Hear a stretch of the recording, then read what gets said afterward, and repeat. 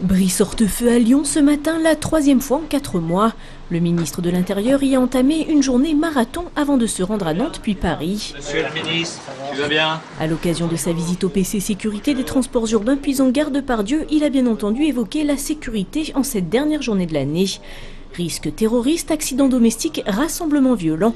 Le ministre a justifié par ces trois raisons le renforcement des forces de l'ordre pour la Saint-Sylvestre. Pour euh, Lyon et euh, l'agglomération, c'est euh, 840 policiers plus 280 euh, policiers ou gendarmes, c'est-à-dire issus des compagnies de CRS ou des escadrons euh, de gendarmerie qui sont mobilisés et il faut y ajouter aux alentours de 800 pompiers. Au total, 6000 policiers et gendarmes supplémentaires seront mobilisés en France jusqu'à 5 heures du matin pour éviter les débordements.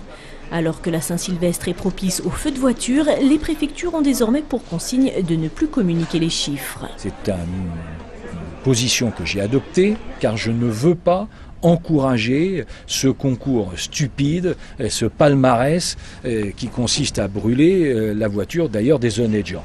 Et avant de reprendre sa tournée, Brice-Hortefeux n'a pas oublié la sécurité routière.